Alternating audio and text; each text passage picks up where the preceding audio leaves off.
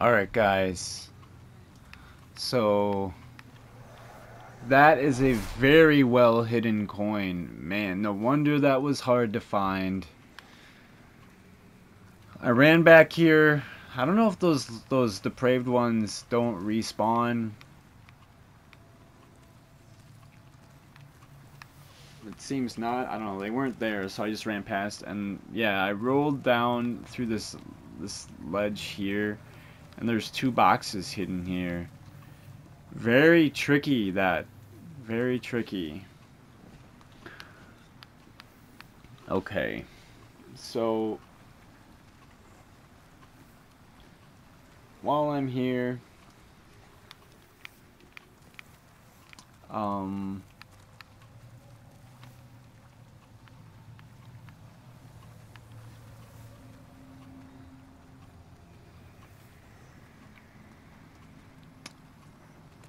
Well, no. I think I'm just gonna leave. I'm just gonna leave.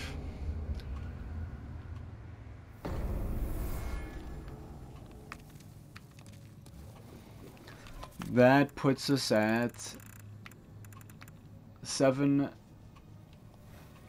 ceramic coins. Which means there's six more to get. There's... I think...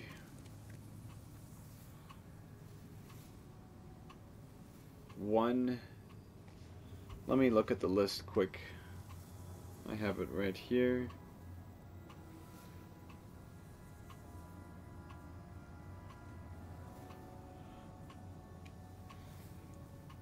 In world 1 in Boletaria there's 3 in white and 2 in black Wow. And then there's the one in Stonefang in pure black in in uh, 2-1.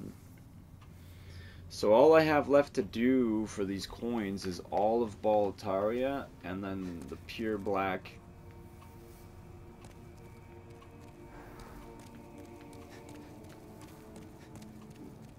pure black and Stonefang.